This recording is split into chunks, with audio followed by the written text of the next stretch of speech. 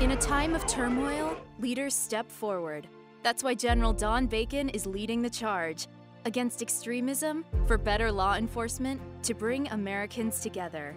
Get them back to work and America up on her feet again.